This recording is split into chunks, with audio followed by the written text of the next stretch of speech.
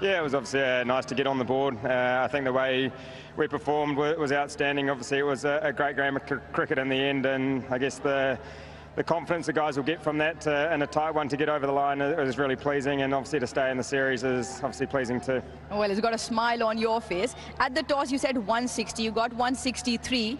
Did, was there a point where you assessed the surf and thought that there could have been enough, or were you confident you could chase that, uh, defend that? Uh, certainly thought it wasn't as good a wicket as the last uh, couple of games. Um, you know, so see the last couple of games have been that 180, 190, but um, you know 180 with runs on the board, and I think the way we bowled up top in that power play to, to restrict them to, I think we got three three wickets in that power play was was outstanding, and obviously put them on the back foot a little bit. And obviously we're seeing in game, games of T20 cricket, it's not over to right till the end, and obviously Iftikhar played a fantastic innings, but uh, it was nice that we were able to hold our composure at the end and, and get across the line.